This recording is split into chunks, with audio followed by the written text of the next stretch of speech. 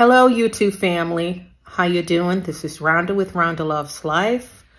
Um, bad news. I don't know if you guys seen it already, but Princess Kate just, uh, Catherine just published a video and she's been diagnosed with cancer.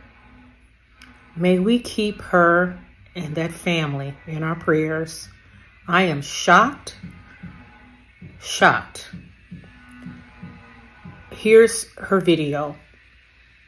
And um, you guys leave your comments in the chat. Very sad.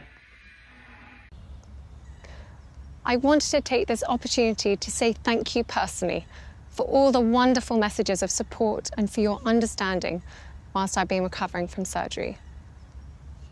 It has been an incredibly tough couple of months for our entire family, but I've had a fantastic medical team who have taken great care of me, for which I'm so grateful. In January, I underwent major abdominal surgery in London, and at the time, it was thought that my condition was non-cancerous. The surgery was successful. However, tests after the operation found cancer had been present. My medical team therefore advised that I should undergo a course of preventative chemotherapy, and I'm now in the early stages of that treatment. This, of course, came as a huge shock and William and I have been doing everything we can to process and manage this privately for the sake of our young family. As you can imagine, this has taken time.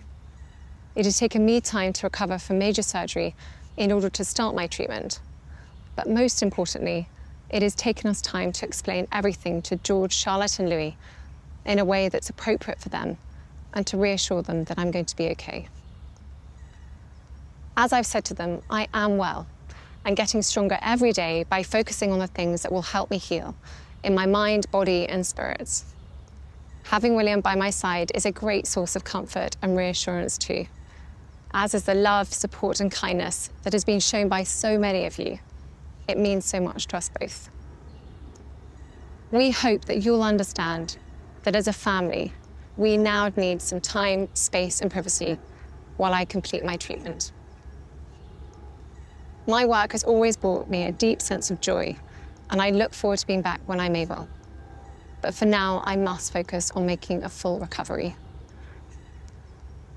At this time, I'm also thinking of all those whose lives have been affected by cancer. For everyone facing this disease, in whatever form, please do not lose faith or hope. You are not alone.